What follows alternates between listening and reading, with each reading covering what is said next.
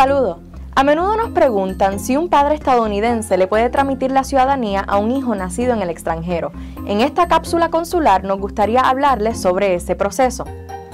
Un niño nacido en el extranjero de un padre o una madre ciudadano estadounidense puede adquirir la ciudadanía estadounidense al nacer si cumplen con ciertos requisitos legales.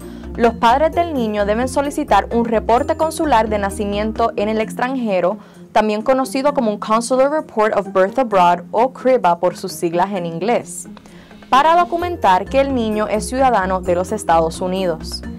Este proceso debe ser completado antes del menor cumplir sus 18 años. Los requisitos de transmisión varían de acuerdo a cuándo nació el niño y al estado civil del padre ciudadano de los Estados Unidos, pero en general dos requisitos se deben cumplir.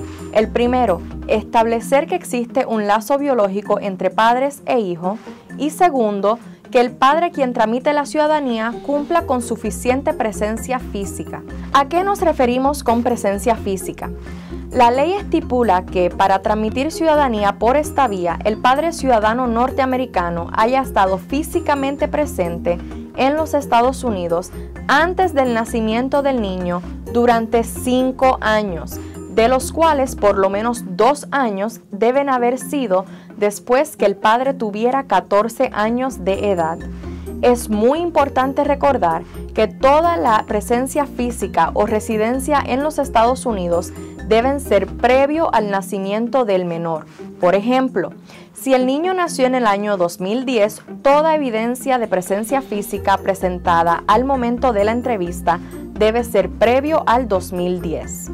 Si un menor es nacido fuera del matrimonio, el padre debe firmar una declaración jurada accediendo apoyar financieramente al niño hasta que el mismo alcance la edad de 18 años. Esta declaración es hecha ante un oficial consular el día de su entrevista. Para más información sobre requisitos y para programar una cita, visite nuestra página web. Muchísimas gracias.